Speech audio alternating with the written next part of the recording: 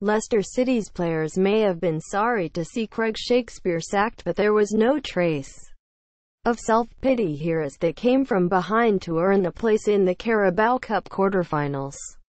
Leeds United took the lead with a lovely goal by Pablo Hernandez but that was the catalyst for a commanding fightback by the hosts, who retorted with fine strikes from Kelechi Iheanacho, Islam Slimani and Riyad Mahrez.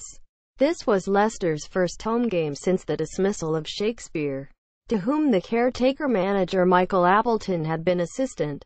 The club's vice-chairman, Aiyawatt Srivaddhanaprabha, used his program notes to hail the ousted man as universally popular before adding but we need to keep the club moving forward, consistent with the long-term expectations of our supporters and the board. And our focus now is on appointing the right candidate. It's an appointment we'd clearly like to make as soon as possible but we won't compromise our goals in haste. There was no official confirmation that the candidates interviewed so far include Claude Puel, the Frenchman let go by Southampton in June. Jesse Lingard double sends Manchester United strolling past Swansea City read more. The visitors know all too well about being in turmoil but Leeds arrived at the King Power Stadium as a relatively stable club, riding high in the championship and exuding optimism under new leadership. But as they face a duel on Friday against the Sheffield United, the team one place above them in the championship, Thomas Christiansen deployed a weakened side here. Kalvin Phillips the only survivor from the lineup that started Saturday's win at Bristol City. Leeds fans, meanwhile, traveled in force as always and helped generate an atmosphere that made this feel like more than a contest between a pair of second strings. The early exchanges on the pitch were tame. However, that changed in the 12th minute when Jay-Roy Grot swapped an iffy 1-2 with Kemar Roofe before firing off a shot from 18 yards to force a save from Ben Hamer.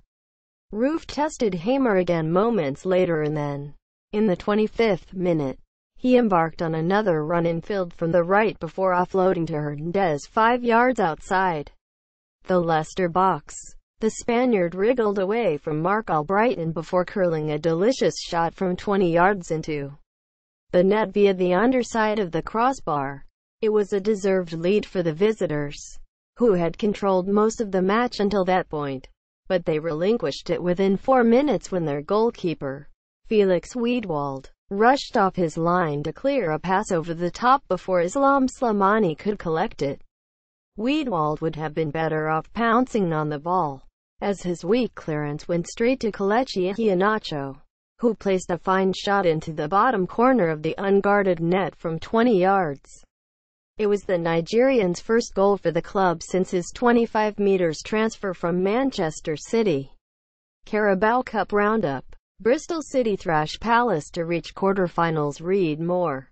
Demarai Gray threatened to put the hosts in front but drove wide after a searing run.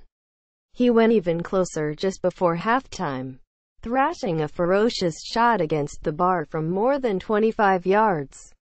Leeds endured several self-inflicted scares early in the second period. First, Gray missed the target after Slimani teed him up following a slip by Pontus Jansson. Then Wiedwald got lucky when he was marooned by a bad back pass that Slimani intercepted. The Algerian pulled the ball back to Andy King, who ballooned a shot over the bar. If that was fortunate, the escape on the hour was barely believable. Slimani sparing the visitors by heading over an empty net from three yards after a fine cross by Albrighton. The reprieve was temporary. Slimani redeemed himself by side-footing into the net from close range after an incisive move involving Iheanacho and Victor Iborra. Mahrez rounded off the scoring in style, topping off a 30-yard dash by curling into the bottom corner from the edge of the area.